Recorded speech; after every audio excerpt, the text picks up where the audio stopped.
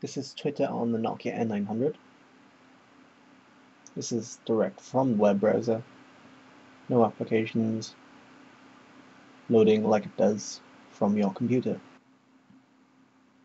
Although it's great that the N900 can deliver websites like a computer does, sometimes with sites like Twitter, it helps to have a dedicated client or application to streamline reading of tweets or sending of tweets. Now, I don't know how to pronounce this next application. It's either Moku, Moku, Maku, who knows. For the sake of the video, I'm going to call it Mauku. Now let's take a look at the Twitter feed. If it's perfectly for the N900's landscape view. And let's compare this to the Twitter site from the web browser. That's pretty much the same, except it's a little bit easier to read things on Mauku or Maku or however the hell you pronounce this application. You get a whole set of options depending on the context of the tweet. You can reply, open the sender's tweets, mark it, forward it by retweeting it, or open the link. Opening links directly opens your web browser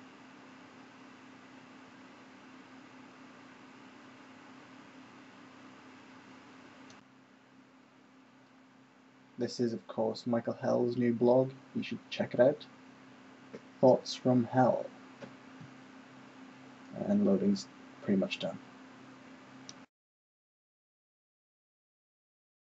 One of the reasons I like Mauku over Twitter directly from the web browser is it's just really easy to send out a tweet. Just click new message, type up your message. Here's how do you pronounce Mauku or Moku or Maku or however the hell you pronounce this thing. We shall see.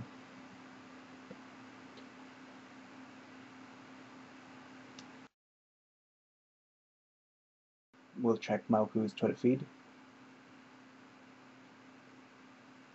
Click Update.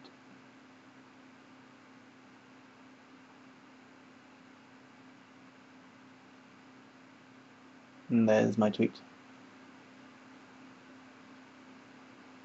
New tweets are blue, whilst reply to tweets are in yellow. Unfortunately, you'll only see the replies of people you're already following. If someone has replied to you, but you're not already following them, you can't see those replies using Mauku. For now, I'm checking replies via the web browser.